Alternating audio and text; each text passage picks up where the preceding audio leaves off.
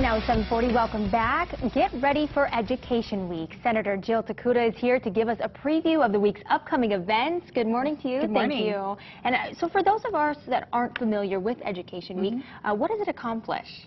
Well, it's an annual event that really is about not just showcasing the amazing teachers, principals, and schools that we have, but really about bringing people to the Capitol to really focus in on our talents and the successes of our schools. Everything from early learning all the way up to post-secondary in our university system.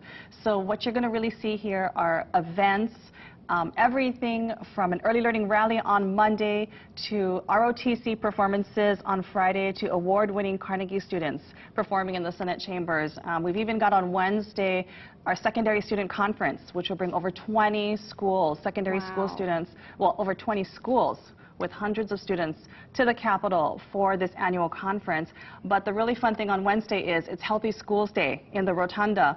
And part of that is going to be a relay competition between the House, the Senate, and the governor's office uh, to see in the series of competitions who's the healthiest. Oh, that's uh, great. I'm not so sure who I'm going to be uh, rooting for, at least fun and competition. And how can uh, schools and students participate? Well, we definitely will have posted on our website the series of events that will be taking place. I know on Tuesday, the University of Hawaii, uh, they're going to be celebrating 50 years of our community colleges. This is a very big event. So they're going to want people, especially students and their parents, to come down and really check out what's been going on in terms of all of our campuses and maybe take a look at is this a really good option for their students and they can have an opportunity to take a look at all the different campuses and what they have to offer. So from a college career standpoint, I would definitely say for our students, come down on Tuesday because our university system is going to be highlighting all of their programs. They're going to have a series of amazing events that morning at the Rotunda. Mm -hmm. So it is spring break. That's why we do it during spring break.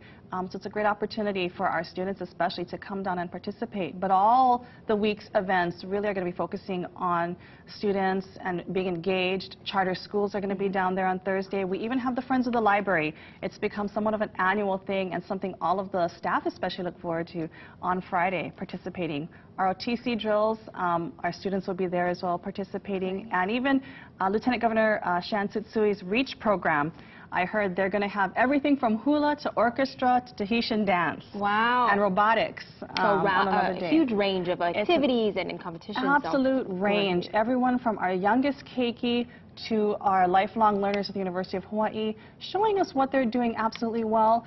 And if you can stick around for our, you know, um, legislative sessions later on at 11:30 and 12, we'll be actually presenting certificates and honoring those outstanding teachers, principals, and schools that are really making a difference in all of our communities. Great. So this really is about showcasing those talents, those successes, um, really giving honor to those who make a difference Perfect. in our community. Well, thank you so much for joining us this morning. Thank of you. course, you can find this more information on our website, kitv.com. I'll toss it to Paul in the Weather Center.